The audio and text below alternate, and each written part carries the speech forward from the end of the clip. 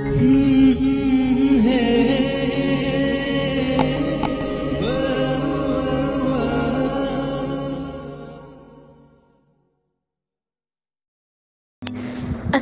আলাইকুম ফ্রেন্ডস কেমন আছেন সবাই? আশা করি সবাই ভালো আছেন। আজ আমি আপনাদের জন্য ফারুক সাই চ্যানেলে হৃদস্পর্শী গল্পের নয় নম্বর পর্ব নিয়ে হাজির হয়ে গেলাম আমি আশা। শুরু থেকে শেষ পর্যন্ত গল্পটা দেখবেন, আমাকে অবশ্যই সাপোর্ট করবেন।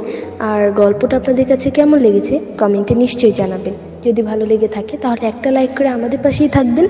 আর আমি এইভাবেই আপনাদের সুন্দর সুন্দর গল্প দিতে থাকব। তাহলে চলুন আর দেরি না করে গল্প শুরু করি। ডাক্তার আলিপ আমাকে আমাদের বাড়ির সামনে নামিয়ে দিলেন। ওনাকে বিদায় জানিয়ে আমি সিঁড়ি ভেঙে আমার বাড়ির ভেতর প্রবেশ করলাম। আজ আমার বাড়িতে বেশ মানুষজন দেখা যাচ্ছে। ভাইয়ের বিয়ে উপলক্ষে হয়তো এত মানুষের সমা- সমাগম। আমার ধারণাই ঠিক ছিল। বাড়ির ভেতর ফুপা ফুপি মিলিয়াপু, শিমুল ভাই, মামা মামি সবাইকে দেখা যাচ্ছে। সাথে আছে আমাদের আরও কিছু আত্মীয় মানুষ। এত মানুষের মাঝে আমার চোখ খুঁজছে আমার ভাইকে। আজ আমার ভাই কই গেল? নিশ্চয়ই সে অফিসের কাজে ব্যস্ত। আমি কাঁধের উপর থেকে কলেজ ব্যাগটি বিছানায় রেখে কাপড় নিয়ে বাথরুমে ঢুকলাম। একটা শান্তির গোসল শেষে আমি বসার ঘরের দিকে চলে এলাম। সবাই আপাতত ভাইয়ার বিয়ে নিয়েই চিন্তা করছে। মা তো তার পুত্রবধূর জন্য এত বড় লিস্ট করেছেন। কি কি দিবেন, না দিবেন, এইসব নিয়ে। ইস, আমার মা কত ভালো মানুষ। নিজের পুত্রবধূর জন্য কত আয়োজন আমার মায়ের। মায়ের মতো একজন শাশুড়ি পেয়ে রুমকি খুবই ভাগ্যবতী। একজনের খাতার নাম লিখলো। আমার শাশুড়ি কেমন হবে আল্লাহ জানে। যদি বাংলা সিনেমার শাশুড়ির মতো জল্লাদ পড়ে, তবে আমার তো আমার জামাইয়ের সাথে সংসার করাই হবে না।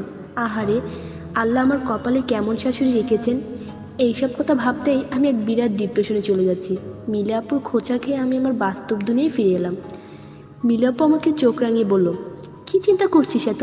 মনে তো হচ্ছে ফাইজান ভাইয়ার না তোর বিয়ের আয়োজন করা হচ্ছে। মিলিয়াপুর কথা আমি চোখ রাঙালাম। আরে আমি কি একবারও এইসব বলেছি? আমার মাথায় অন্ত চিন্তা ঘুরছে। মিলা আপু কুচকে আমাকে জিজ্ঞেস করল, কি চিন্তা? এই যে, আমার মা। এত ভালো একজন মহিলা। নিঃসন্দেহে রুমকে একজন ভালো শাশুড়ি পাবে। কিন্তু আমার শাশুড়ি কেমন হবে, এই ভেবেই আমি ডিপ্রেশনে চলে যাচ্ছি।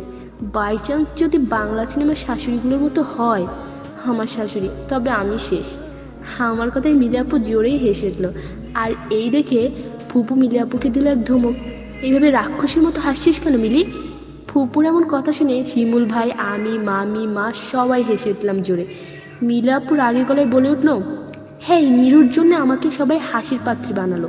কিন্তু আমি কেন হাসলাম, এটা কেউ ভেবে দেখনি? শিমুল ভাই তার হাসি চেপে কোনো মতে মুখ ফুটে বলল, কি কথা বলেছে নিরু? তার হবু শাশুড়ি কেমন হবে, বাংলা সিনেমার শাশুড়ির মতো হলে তার জীবন শেষ হবে, এইসব কথা বলছিল। তাই তো আমার বড্ড হাসি পেল। মিলিয়াপুর উত্তরে সবাই আরেকবার হেসে উঠল। এইদিকে আমি বুঝি না, এইখানে এত হাসির কি হলো? আমি আছি আমার হবু শাশুড়িকে নিয়ে চিন্তায়, আর এরা আছে এদের হাসির তালে। আমি কিছু না বলেই চুপ করে রইলাম। শিমুল ভাই আমার পাশে এসে আমার মাথায় হাত বুলিয়ে বলল, চিন্তা করিস না নিরু, তোর কপালে খুব একজন ভালো শাশুড়ি না জুটলো অন্তত বাংলা সিনেমার কুটনি শাশুড়ি জুটবে না। আরে বাজে বকিস না শিমুল আমার নিরুপমা বিয়ের পরও আমার ঘরেই থাকবে। তাই আমার মেয়েকে তার শ্বশুরই কোনো রকমই অত্যাচার করতে পারবে না। আমার কথা বুঝেছিস? বাবার করুণ কণ্ঠ। বাবার এমন কথা শুনে মা বাবাকে টিটকারি মেরে বলল আহারে আসলো আর দরদি বাবা। বুঝলি নিরু, তোর বাবা তোর জামাইকে ঘর জামাই হিসেবে রাখতে চাচ্ছে আরও কত কি দেখবে তোর বাবা? ঠিক বলেছ, আমি দরদি বাবা। নিরুপমার বাবা আমি। আমার মেয়ের সাথে কখনই কষ্টের দেখা আমি করতে দিব না। বাবা কথাগুলো বলে আমার কপালে চুমু দিলেন। কিন্তু মা থেমে থাকেননি। বাবার কথার বিপরীতে মা বাবাকে আরও কথা শুনিয়ে যাচ্ছে। তবে বাবা সেদিকে পাত্তা না দিয়ে উল্টো আমার কানে কানে বলল, তোর মায়ের যা রং বদল হয়, এখন ঘর জামাইয়ের বিপক্ষে দাঁড়িয়েছে তোর মা। আমাদের যখন নতুন নতুন বিয়ে হয়েছে, তখন তোর মা আমাকেই ঘর জামাই বানিয়ে রাখতো। কি যে কান্নাকাটি করতো তোর মা? আর এখন দেখ কীভাবে রং পাল্টিয়ে ফেলল। ভাবার কথায় আমি মুচকি হাসলাম। আর সেই মা আর বাবার সম্পর্কটা খুবই সুন্দর। সে ছোটকাল থেকেই মা আর বাবার এমন খুনছুটিমূলক ভালোবাসা দেখে আসছি। বাবা আর মা যতই ঝগড়া করুক না কেন, ওনারা যে একে অপরকে পরিপূরক, আমি এটা বেশ জানি। বাবা সহ মিলে আমরা সম্পূর্ণ পরিবার ভাইয়ার বিয়ের জন্য মেহমানের লিস্ট তৈরি করে ফেললাম। ভাইয়ার বিয়ে অতি নিকটেই চলে এসেছে। আমি আর মা ঠিক করলাম, কাল গিয়ে আমিরদের পুরো পরিবারকে দাওয়াত করব। হামের কথা মনে আসতে আমার ডাক্তারের কথা মনে চলে এলো। আজ ডাক্তার আলিপ আমাকে বেশ উপকার করেছেন। উনার এই উপকার আমি কখনোই ভুলতে পারব না। এই যে নিরু, চল আমরা দুপুরে খাবার সেরে নিই। আমাদের এখনই বেরোতে হবে মার্কেটের উদ্দেশ্যে। মিলিয়াপুর কথায় মাথা দুলালাম। আসলে ভাইয়ার বিয়ে উপলক্ষে কত শপিং এখনও বাকি আছে? দুপুরের খাবার খেয়ে আমি রুমে গেলাম। আমার পিছু পিছু আসলো মিলিয়াপু। আমি ব্যাগ থেকে মোবাইল বের করে ডাক- ডাক্তারকে ছোট্ট একটা মেসেজ দিলাম। ধন্যবাদ জানাম আবারও, ডাক্তার। আপনার এই উপকার আমি কখনোই ভুলবো না। মিলিও আপু আমার এমন মেসেজ দেখা দেওয়া দেখে আমার হাত থেকে মোবাইল নিয়ে নিল টান দিয়ে। আর আমার দিকে ভুরু কুচকে তাকিয়ে বলল, বাব্বা কলেজের নাম দিয়ে ডাক্তারের উপকারে উপকৃত হওয়া হচ্ছে? এই তো দেখছি ডাক্তার আলিফা রহমান। কি সুন্দর করে মেসেজ দিয়েছিস তুই। উনি তোর কী উপকার করে ফেলল রে? ভিলে আপুর প্রশ্নে আমি আর চোখে আপুর দিকে তাকালাম আর মোবাইলটা আপুর হাত থেকে নিয়ে বললাম, তেমন কিছু না, একটু ঝামেলা হয়েছিল কলেজের সামনে আর সেখান থেকে ডাক্তার আরিফ আমাকে উদ্ধার করলেন। হেই আর কি, এর বেশি কিছু নয়। কি ঝামেলা? খুলে বল সব কিছু মিলিয়াপুর এমন চাপা প্রশ্নে আমি গড় গড় করে সব জানিয়ে দিলাম আপুকে। ইব্রাহিম নামটা শুনে মিলিয়াপু দ্রুত তার মোবাইল বের করে কিছু খুঁজতে লাগল। আরে বোন, কি খুঁজছো? মিলিয়াপু হাতের ইশারায় আমাকে চুপ করতে বলল। অজ্ঞাত, আমি চুপ করেই বসে রইলাম। একটু পরে মিলিয়াপু তার মোবাইল আমার দিকে ফিরিয়ে বলে উঠল এই দেখ, এই লোকটি কি সেই ইব্রাহিম? মোবাইলের দিকে তাকাতে আমার চোখ গোল গোল হয়ে গেল। হেই তো আজকের বেয়াদব ছেলেটা। আমি দ্রুত মাথা নাড়ালাম। হ্যাঁ এই ছেলেটাই তো ছিল। আমার কথায় মিলিয়াপুর তার কপালে একটা চর দিয়ে কান্নামাখা মুখ খুলব। হেই ছেলে তো নেতা হাই হাই কি করে ফেলেছিস তুই আর ডাক্তার মিলে? এই ছেলে তোদের ছেড়ে দিবে না এত সহজে? কথাটা আমার কানে প্রবেশ করতে আমার কান থেকে ধোয়া বেরিয়ে গেল। শেষমেশ আমার জন্য ডাক্তারের জীবনটাও সংকটে পড়ল। কিন্তু আমার বিশ্বাস, ওই নেতা যেমন শক্তিবান বিত্তশালী তেমন আমার ডাক্তারও কম না। হেই মা, কি বললাম আমি এইমাত্র? আমার ডাক্তার। ছি, ভাগ্যে সেই কথাটি আমি মনে মনে বলেছিলাম। না হলে তো এই মিলিয়াপু আমাকে এখনই আরও নানা প্রশ্ন মরে দিত।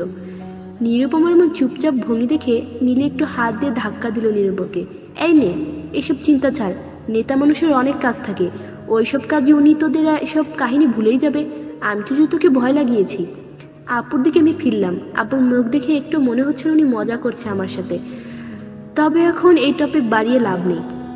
তাই আমি আপুকে বললাম, অনেক কথা হলো, এবার চলো আমরা বেরিয়ে যাই, না হলে ফিরতে দেরি হবে। আমি, মিলি আপু, শিমুল ভাই আর মামি, আমরা চারজন বেরিয়ে পড়লাম মামাদের গাড়ি নিয়ে। অবশ্য গাড়ি চালাচ্ছে শিমুল ভাই রুমকি আর তার পরিবারের দুই, তিনজন মানুষ সরাসরি মার্কেটে চলে আসবে? আমরা মার্কেটে গিয়ে আশেপাশের দোকানে হালকা পাতলা জিনিস দেখছি। রুমকির ফোন পেয়ে আমি আর মিলি আপু তাকে নিচতলা থেকে নিতে গেলাম। এত বড় মার্কেটে রুমকি আমাদের খুঁজেই পাচ্ছে না? তাকে দোকানের নাম বলেও লাভ হলো না। নিচে নামতে রুমকির গলার আওয়াজ শুনতে পেলাম। নীরু আপু, পেছন ফিরতে মিলিকে দেখতে পেলাম। কিন্তু মিলির পাশের জনকে দেখে আমার চোখ বেরিয়ে আসার উপক্রম হলো। পাশে দাঁড়িয়েছে ইব্রাহিম নামক সেই নেতাটা। উনি আমার দিকে অবাক চোখে তাকিয়ে আছে। আমাকে চিনতে পেরেছেন হয়তো উনি। দ্রুত উনি আমার দিকে এগিয়ে এলেন। হেই মেয়ে, তুমি আজকে সেই মেয়েটি না? নিজের বয়ফ্রেন্ডকে নিয়ে আমার সাথে ঝগড়া করেছিলে? বুঝেছি কি এই সেই মেয়ে যে কিনা ঘটনা না জেনে উল্টো বয়ফ্রেন্ড এসে আমার সাথে ঝগড়া করছিল। কি বলছো মামা এইসব নিরাপুর কেন বয়ফ্রেন্ড নেই? আচ্ছা যেই হোক না কেন, ছিল তো একজন ছেলে। আমার মাথায় কোনো কথা ঢুকছে না, আমি অবাক হয়ে এখনও তাকিয়ে আছি তাদের দিকে। রুমকি এসে আমার হাত ধরে বলল, কিছু মনে করো না নিরাপু উনি আমার ছোট মামা। সেই দিন ওনার কাজ থাকায় তোমাদের বাড়িতে যেতে পারেনি। যাক বিপদ থেকে বেঁচে গেলাম। আমি আর ডাক্তার সাহেব, আমি একটু ইতস্ত বোধ করে ইব্রাহিম মামাকে বললাম, দুঃখিত মামা, অনেক বেশি দুঃখিত আমি। আসলে আমি অন্যায় একেবারে সহ্য করতে পারি না। আবারও দুঃখ প্রকাশ করছি মামা। ঠিক আছে ঠিক আছে, মাফ করে দিলাম ভাগ্নি হিসেবে। কথাগুলো বলে ইব্রাহিম মুচকি আসলো আর আমি একটা প্রশান্তি খুঁজে পেলাম মনে। হুনাকে নিয়ে যা একটু চিন্তা ছিল, সেটি একেবারে ঘুচে গেল আমার। আমরা সবাই একসাথে কেনাকাটা করতে মন দিলাম। অন্যদিকে আলিফ তার বাসায় অবস্থান করছে। আমিরের শরীরটা ভালো না। তাই সে আজ হসপিটালে সব কাজ ফেলে বাড়িতে তার ভাইয়ের সেবা করছে। একমাত্র ভাইকে আলিফ কোনো মতে হারাতে চায় না। ভাই বোন হারানোর কী কষ্ট, সেটি তার চেয়ে ভালো কেউ জানে না। আমির এখন ঘুমিয়ে আছে। ছেলেটির মুখ ঠোঁট একদম শুকিয়ে আছে। আলিফ তার ভাইয়ের মাথায় হাত বুলিয়ে দিতেই আমির তার চোখ নাড়ালো। এই দেখে আলিফ আস্তে আস্তে আমিরের মাথায় হাত বুলিয়ে দিচ্ছে। মোবাইলে ভাইব্রেশনের শব্দে আলিফ তার পকেট থেকে মোবাইল বের করল। হসপিটালে ফোন পেয়ে সে দ্রুত ফোন রিসিভ করল। জি, বলুন। অপর পাশ থেকে একজন মেয়ে উত্তর দিল, স্যার, একশো দশ নম্বর কেবিনের রুগীর রিপোর্ট প্রকাশিত হয়েছে।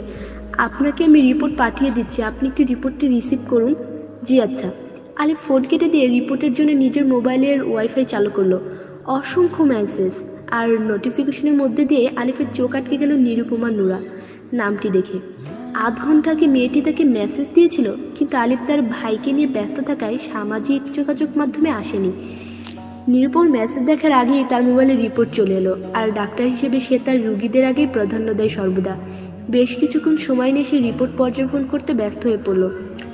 টানা ছয় ঘণ্টা মার্কেটিং করে আমার পায়ের অবস্থা একেবারে শেষ। ঘড়িতে এখন বাজে রাত এগারোটা দশ।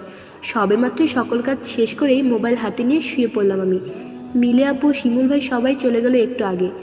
ফেসবুক চালানোর মাঝেই হঠাৎ মনে হলো আমি তো ডাক্তার আলিফকে মেসেজ দিয়েছিলাম।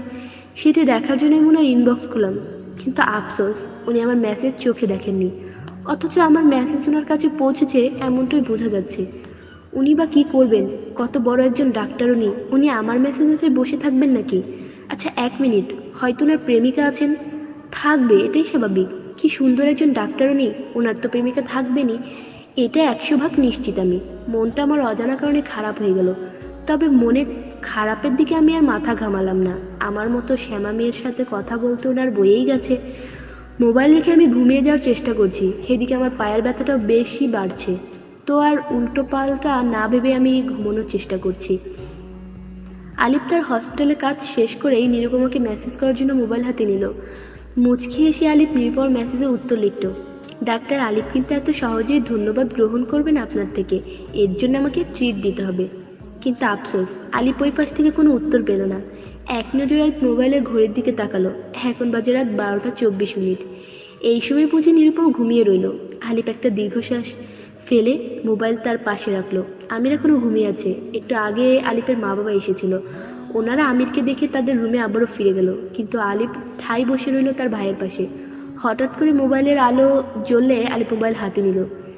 নিরুপমার পক্ষ থেকে মেসেজ এসেছে। দেখতে আলিপের মুখের হাসি আরও চওড়া হলো। পায়ের যন্ত্রণায় ঘুম ছুটে গিয়েছিল আমার। তাই বালিশের পাশে থাকা মোবাইলটা নিয়ে দেখি ডাক্তার আলিপ আমাকে মেসেজ দিয়েছেন এটি দেখে আমার বেশি খুশি লেগে উঠল। ওনার মেসেজের উত্তর আমি লিখলাম, তো, আপনার জন্যে কিসের ট্রিট দিতে হবে, ডাক্তার? উফ, আপাতত ডাল ভাতের ট্রিট দিলেই চলবে, মিস রোগী। হালিপ নিরুপম মেসেজের উত্তরে লিখল, ডাক্তার আলিপের এমন মেসেজ দেখে আমি কিট কিট করে হেসে উঠলাম। আহারে ডাক্তার মানুষ, এইসব খাবার খাবে? ওনার মেসেজের উত্তরে আমি আবারও মেসেজ পাঠালাম ওনাকে। আলিপের মনে নিরুপমার জন্য আজ ভালো লাগার আবেশ আরও এক ধাপ এগিয়ে গেল। সারাদিনের এত ক্লান্তি ভাব, আমিরের জন্য এত চিন্তা সব কিছুই যেন আলিপের মাথা থেকে আস্তে আস্তে মুছে যাচ্ছে। নিরুপমার সাথে কথা বলার মাঝে আলিপ তার মাঝে এক শান্তির অনুভব করছে। যে শান্তি কঠিন থেকে কঠিন চিন্তা একেবারেই মুড়িয়ে যায়। চলবে দয়া করে ভুলটি ক্ষমা করবেন। কেমন? ধন্যবাদ।